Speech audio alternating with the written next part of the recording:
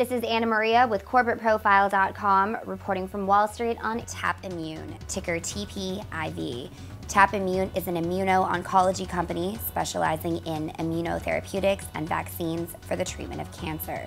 TapImmune just announced it has dosed its first patient in a phase two trial for its lead cancer vaccine candidate, TPIV 200, in the treatment of triple negative breast cancer. The first patient enrolled is being treated at the University of Maryland. This is one of eight sites being used in this study, which is conducted and funded by TapImmune. The phase two study is expected to enroll a total of 80 subjects. The primary endpoints are dosing, regimens, and safety. Enrolling and treating this first patient represents the start of a robust and intensive phase two clinical program for TPIV 200, a folate receptor alpha T cell vaccine.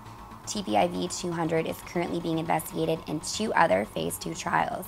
One is a 40 patient study at Memorial Sloan Kettering in collaboration with AstraZeneca in late stage ovarian cancer. The other is a 280 patient phase two trial being run at the Mayo Clinic with a grant from the Department of Defense.